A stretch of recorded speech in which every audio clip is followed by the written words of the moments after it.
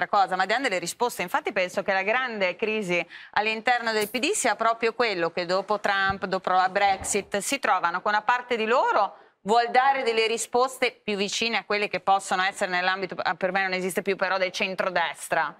E una parte invece che dice per dare le risposte dobbiamo rispostarci verso sinistra. E questo è il vero, il vero problema. Io lo vedo anche a livello locale ci sono proprio due, se non tre anime. o anche di più, anime all'interno del Partito Democratico che tirano da una parte o dall'altra, senza in realtà cioè, poi Renzi, erede di Berlusconi niente, da una parte. Fanno male sia una cosa che l'altra. Mm. E in questa crisi di cercare di avere voti o di assecondare comunque delle esigenze di una parte dei cittadini o degli altri, non portano a casa niente, non fanno niente, creano più confusione, siamo ancora qua a parlare della legge elettorale dopo tantissimi mesi, la gente è sempre più arrabbiata perché vuole giustamente delle risposte, abbiamo i dati sull'occupazione che sono chiari a tutti, qua abbiamo alla fine trasformato questi, il tempo indeterminato in realtà a tantissimi tempi determinati, la gente può essere mandata a casa in qualunque momento, non c'è più la sicurezza, perché quello che dicevamo dei giovani, lo dicevi tu, è giustissimo perché i giovani